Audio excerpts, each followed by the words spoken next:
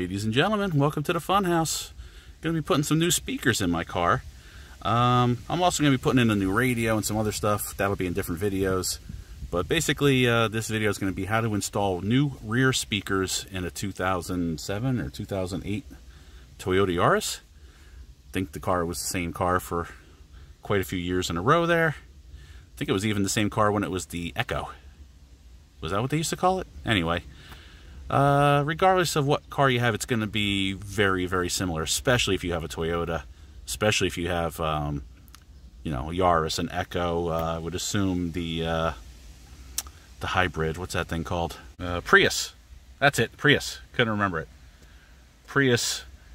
Pretty similar in design and parts to the Echo and Yaris.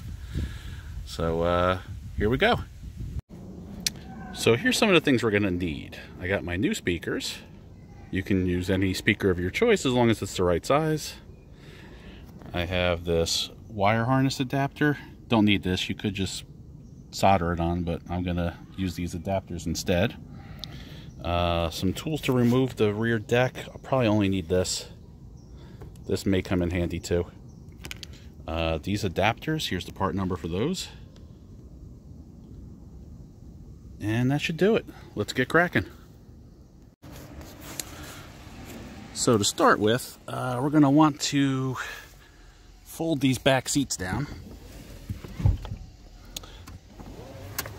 Uh, the uh, seat belts, there's these little slots here for the seat belt to come through. Uh, get that under as opposed to running through. Sorry guys, I don't have room for the tripod yet. Okay. That one's already done. Uh, these covers you got to pop off of here. To get them off, you pop the front out first. And then pull forward and unhook it. Now we've got uh, these sides panels are probably going to have to come out left and right. And we have a couple of these plastic rivets. Well, a couple, there's three. One there, one there, one there. Oh, and there's a fourth one here around the edge. So that's where this comes in handy. We're gonna try to work lefty. I'm a right-handed guy. Okay, we pop that one. Save them, they're reusable.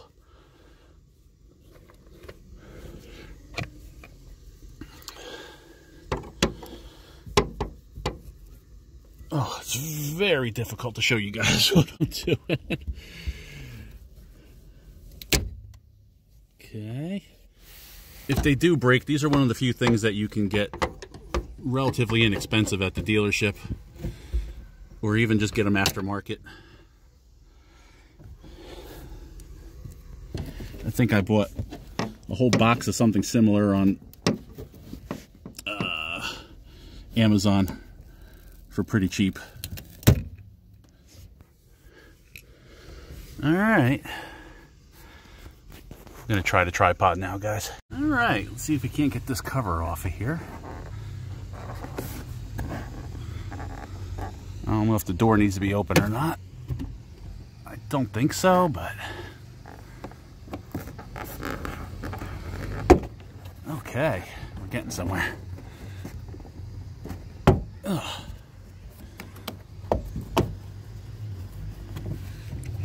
Had to put the seat back up. Sorry about the noise too, guys. It's uh, it's the weekend, so everybody gets to enjoy their weekend how they see fit.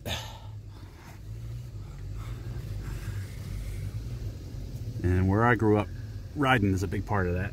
Quads and dirt bikes.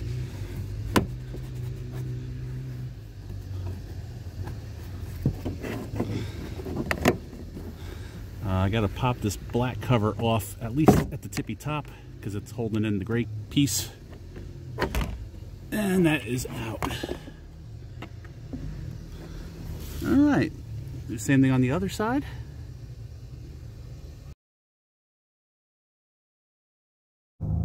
Okay, now we got to try and pop this brake light out.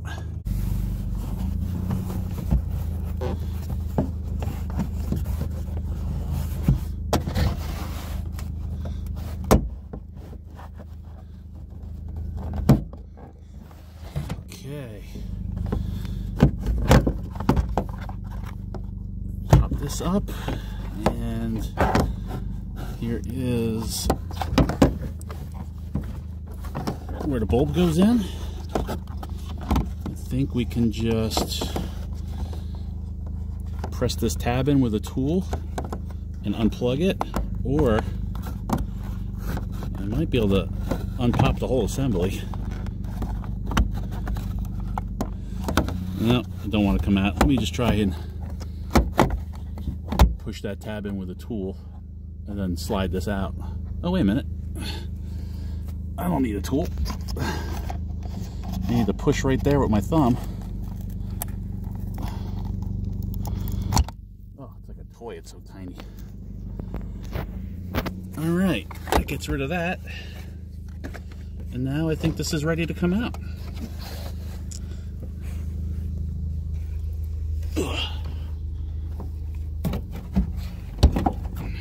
Hey. Tuck that wire back in. I'm gonna put this someplace safe. All right, guys, sorry about the terrible quality here. Let's put this padding back in.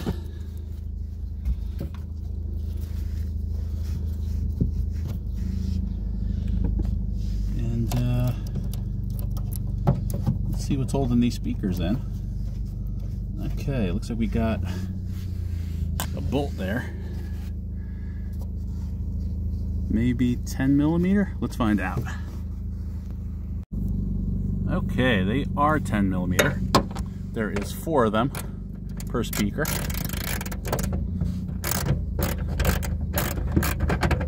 I might need a wrench or a shallow socket for in the back there by the glass.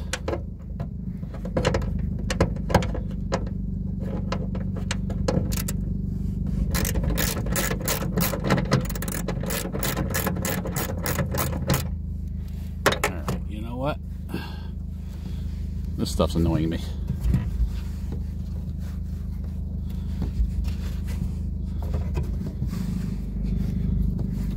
Get it out of my way so I can see what I'm doing, hopefully. Yeah, we're gonna need shallow sockets in the back. Okay, let's try this shallow socket.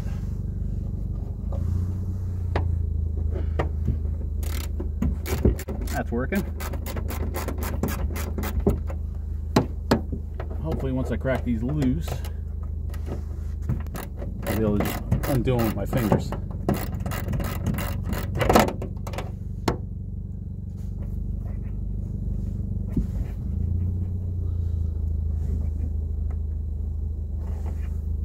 No, nope, they're gonna fight me the whole way.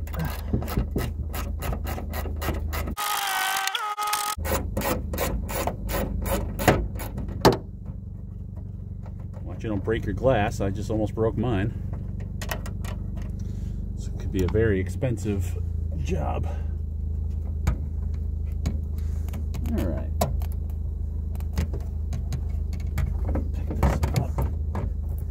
Here is the plug. I can't see what I'm doing. Okay, there's a tab up here by the top. Eh. Me show you up close and personal.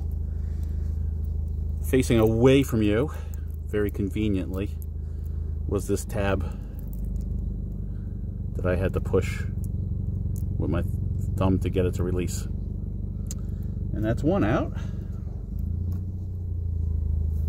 Oh my god, these speakers are in horrible shape.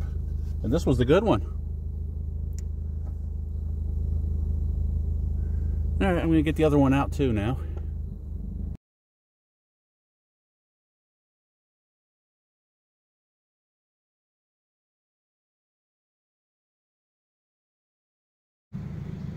Want to show you guys something quick. If you wanted to, you could take this plug from the stock speaker, pop it off of there, pop it off of here, cut it or unsolder it, and solder it onto your new speaker. or even get the proper connectors for your new speaker, solder them onto the end of this, and make your own adapter. But I think they threw mine in for free. Even if they didn't, I have them. So I'm going to use them. You could also just uh, solder some wires on here to give yourself a bit of a tail and cut the plug off in the car and solder it there as well with the uh, shrink wrap uh, over the joints or some electrical tape. Uh, don't use the crimp-on ones, man. Uh, they don't work. You have your speakers turning on and off every time you go over a bump if you use the ones that you just crush with the pliers. They corrode, the wire breaks, they're garbage. So I'm showing you guys the easy way because it's most likely the route that most people will take. Um, here are your connectors that you could just use to tie into the uh, speaker system in the car. They came with the stereo. But here are my adapters. And these will plug onto the speaker and then they'll plug into my factory plugs. Um, I have these adapter plates, these filler strips. And the reason for that is if you look at this weird bolt pattern on this speaker, versus the standard bolt pattern on a 6x9, uh, they do not line up by any stretch of the imagination. Now, there's nothing stopping me from dropping this speaker into the hole and running some self-tappers through here, and everything would be just fine. Or push them up from under in the trunk, put a nut and a bolt to hold it on. Uh, you don't need to buy this stuff. You, if you're handy, you can do without it. But I have it, so I'm going to use it. What a crappy speaker. Shame on you, Toyota. Alright guys, as best as I can tell, this is what you want. You want the bracket on top with this hole in the bottom right hand corner on both speakers. I have the speaker on the underside, what's going to be the underside of the bracket with the screws coming up through. You're going to want to be careful of these while you're installing it, but the rear dash is going to cover that. And if you look, here's how I removed these two. Remember this one had a hole in it, it was on the passenger side. And they've got this weird tab down in the bottom right hand. Uh, so that is how the speakers are going to go in. Sorry, there was a helicopter going by. Um, I have them turned so that the tweeters are opposing one another. You can see it says Pioneer top and bottom. I just feel like there should be a left, something that signifies one's a left and one's a right. I'm going to put them in kind of the way you're looking. This will be on the uh, passenger side, and this ear-piercing, squealing speaker will be blowing right into the C-pillar. Same on this side, instead of it uh, killing whoever's sitting in the back seat, hopefully. Probably won't make a difference. They're kind of centered. Um, at any rate, uh, I thought I had to put these through these holes, but there is a hole, like a indentation in the dashboard to let the wires come out. So I don't think I have to do that. Let's go see if I'm right. Okay, something else I found out the hard way so you won't have to is I found out that if I put all the bolts in the bracket and then I come in up against the glass, careful not to scratch the glass with the screws poking through, and then drop it into place. That's how I seem to get the best luck. Um, I wound up switching these for left and right because of the way the wires have to run. This will make my wires the right length. Uh, I'm to just plug this in so I don't lose it. And then I'm to tuck this wire down underneath. And uh, now I can get my screw started. Remember what I keep telling you guys, don't screw anything all the way in. Get them all started first.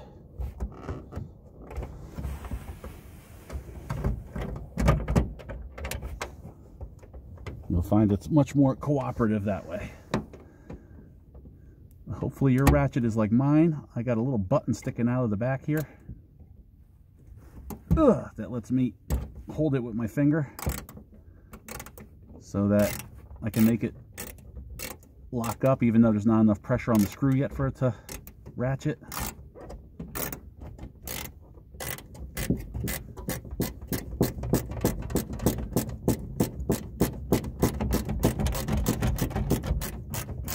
Okay, that one started. This one I was able to start by hand.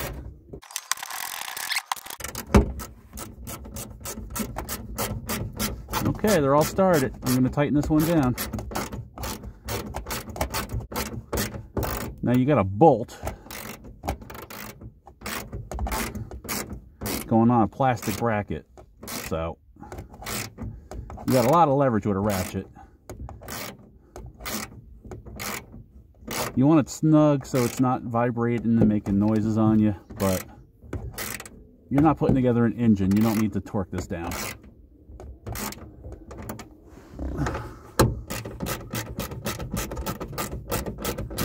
Watch your fingers on these screws. I just raked myself.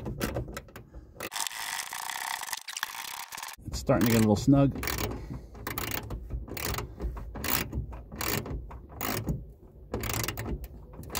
Alright, last one.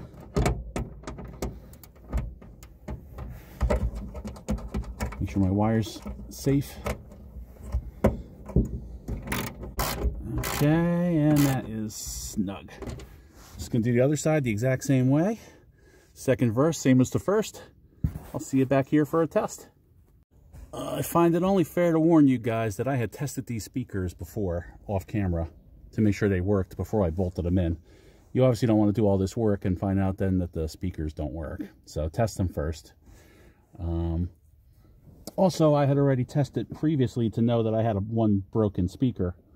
So that way I knew I didn't have a bad wire and I knew that I wouldn't switch out the speaker and still not have any sound.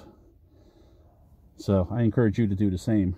Um, I think if you wanted to, you could probably get away without these screws and just pinch the speaker between the speaker-shaped pocket in the back dash and the plastic bracket with the screws in it, uh, with the bolts in it, rather. But uh, I put the screws in. I tested it on the back dash. I think there's room for them to come up without hitting or coming through the grill work and my speaker wires are run and not pinched. I know it works. I'm going to put the back dash back in. Don't forget your wire for your uh, third brake light. And um, I'll get that reinstalled and we'll uh, test things out again. I'll let you guys see that I'm not full of crap and that the speakers are actually working. All right, there's some tabs sticking out of the back of the rear dash cover that go into pockets underneath the uh, the window there. And we're to get our seat belts back in to these T's.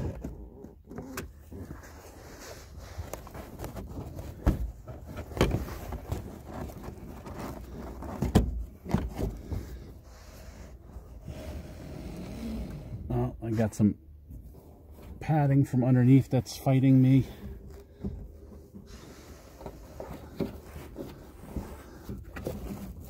Do my best to tuck that back in where no one can see it. Otherwise, I'm going to take this off and rip it out of there.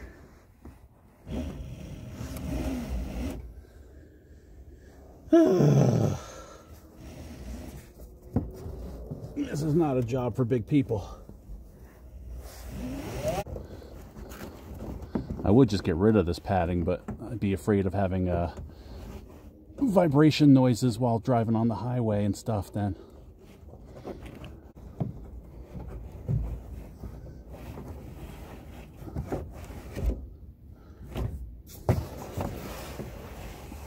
All right, it's going bye-bye. I'll spray some expansion foam under here if I get any vibration. Ugh. Goodbye, trash. All right. Pop our little plastic rivets back in. Put our trim back together.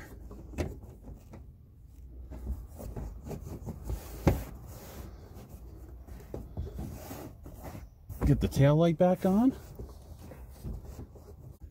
Okay. Let's find my wire.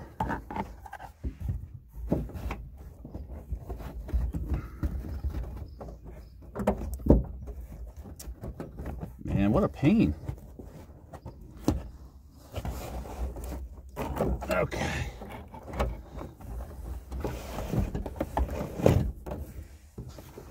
Plug this in.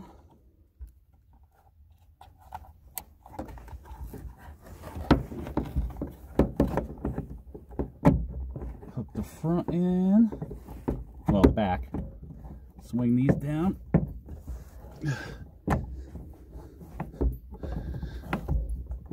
Oh, come on, come on. This would be so much better if I could see. Oh. Okay. All right. Let's get these plastic rivets back in. Okay.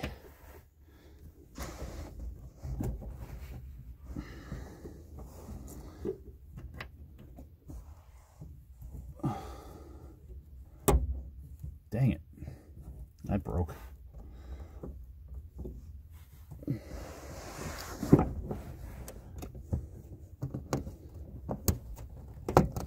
Oh, I might need some new ones.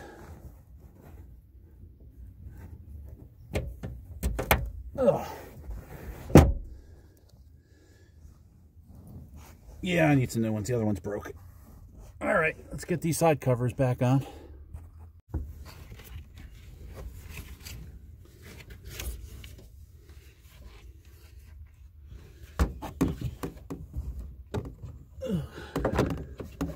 Get in behind here first.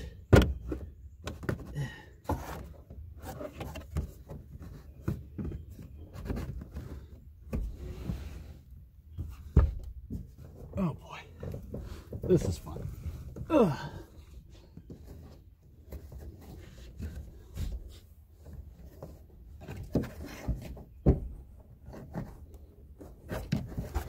Luckily I can kind of see back here a little bit. Just see that I'm getting these in the hole.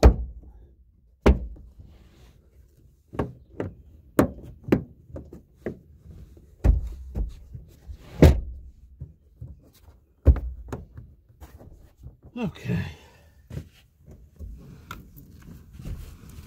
Now for the other side.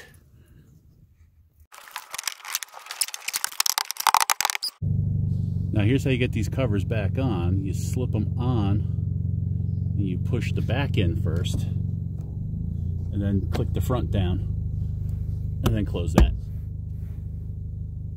And that takes care of that.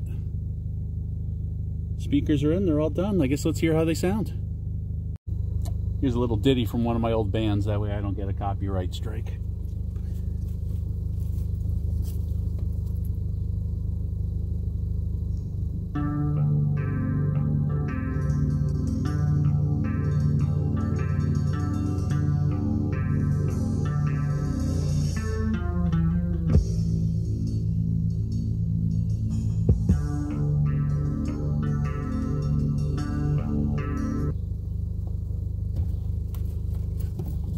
Okay, they're both playing and they both sound good.